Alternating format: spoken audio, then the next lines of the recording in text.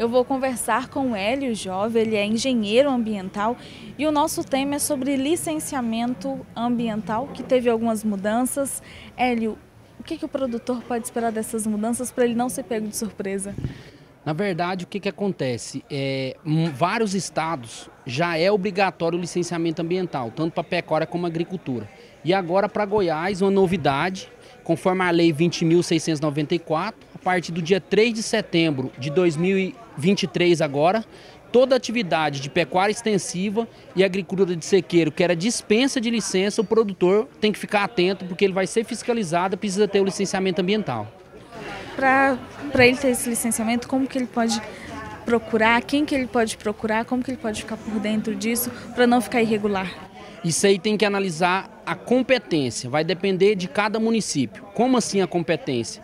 É que a competência do licenciamento ambiental é concorrente, passou do Estado em alguns municípios para o município.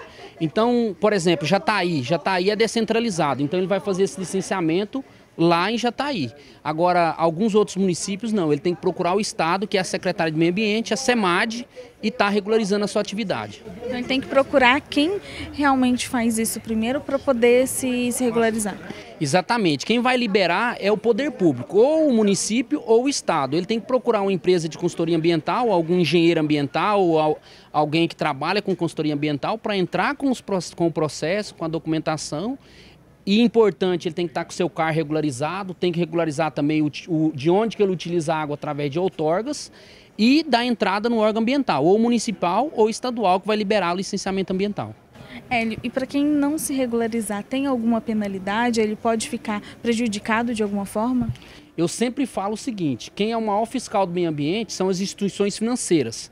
O órgão ambiental, a partir dessa data, pode multar o produtor. Mas quem vai mais avisar o produtor e ele vai ficar atento quanto a isso, além da, das nossas divulgações, são as instituições financeiras. Por quê?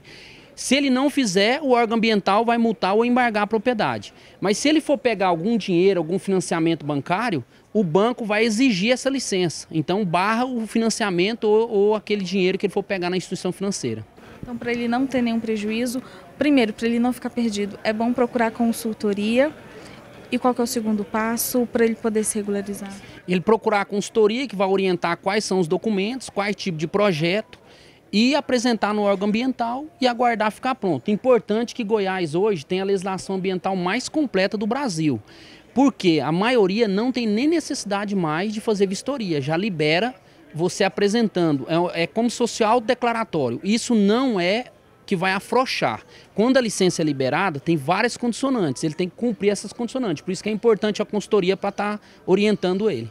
Aí nesse meio tempo, entre a, regularização, ele deu a entrada. Tem algum documento que ele fica é, em posse para não ter esses, esses, essas paralisações na sua operação, que ele pode apresentar como se dissesse que assim, eu não estou regular, é, regularizado ainda, mas, mas eu estou no processo, exatamente. Na verdade, até dia 3 de setembro ele consegue uma dispensa. Isso é, é rápido, entra no site ou, na, ou, vai na prefeitura.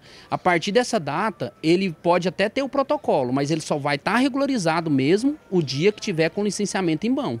Então ele tem esse prazo até essa data, que foi três anos, né? Então, como a lei foi publicada em 2020, ele teve três anos para regularizar e está vencendo agora em setembro. Hélio, muito obrigada pelas informações e volte mais ao Sucesso no Campo para a gente passar mais informação para o produtor rural. Eu que agradeço, o que eu sempre falo, conexão com propósito, ajudar o agronegócio, ajudar o produtor rural.